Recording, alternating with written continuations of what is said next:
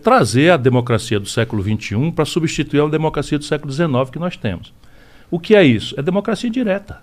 Opa! Qual é o sentido? Aí tu falou a língua dele. Não, não, mas, mas, mas veja, qual é o sentido? Qual é o sentido de você discutir imposto, financiamento da, da, das políticas e tal, cercadinho em gabinete fechado em Brasília, onde o império é o lobby, é o grupo de pressão, Nossa, é o isso- dinheiro. Isso, me dá tanto tédio. Pois esse, então. esse lobby de mas, invasão. mas só nós estamos nessa. O mundo inteiro, assim, o mundo avançado, a Escandinávia, a Europa toda, os Estados Unidos, isso você vai uma votação, por que, que demora a apuração nos Estados Unidos? Não é por causa do voto de presidente, não. É porque junto com cada eleição eles botam 50 assuntos para a turma resolver. Aí vamos lá, vocês daqui a pouco vão falar tal. Quem é que decide nos Estados Unidos droga, não sei o que e tal? É o povo. Aí vai ficar em lobby e não sei o que, o político fica ali.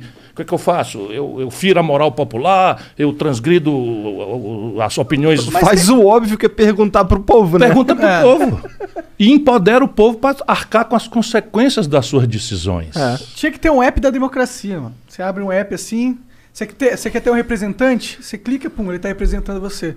Aí todos os votos que ele, que ele fizer, conta o peso do teu voto. Se você não gostou, instantaneamente você vai, pum, aperta o botão. Posso já- anotar essa sugestão? Essa aqui não Pode. está nesse livro.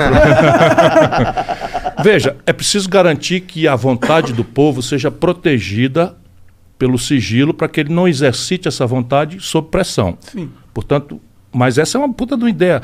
O e-government, né, a gente não está usando a expressão em inglês, não é por É porque não tem pedantismo. uma outra. Não, não tem ainda. Né? O e-government. O e-government é exatamente isso. Você não faz muito sentido você abrir ou fechar uma empresa com a quantidade de papel, de carimbo e de assinatura que o Brasil exige dos cidadãos. Porque isso é uma loucura. Por, porque, repare. sabe bem. É, claro. todo mundo sabe bem. Todo mundo sabe bem. E, e por que, que todo mundo sabe bem e continua assim? Por quê? Poder, meu irmão. Poder.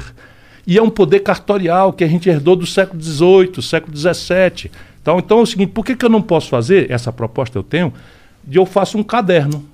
Porque eu sei que o bombeiro tem que dar uma opinião se o, seu, se o teu prédio aqui Aham. pode ter gente, se está tudo organizado. Eu tenho que ter uma opinião sobre a da, da, da, da- da vigilância sanitária, se isso aqui tem, pá.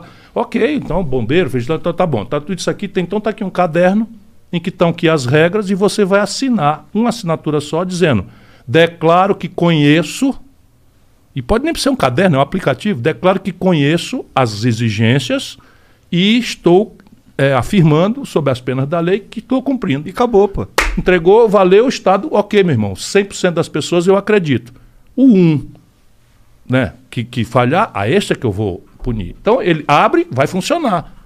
E aí o Estado vem depois atrás, no tempo dele, com a, com a lentidão de carga do manco dele e tal, vem e dá checa. Cumpriu mesmo, está falando a verdade? Parabéns, cidadão, vai-se embora.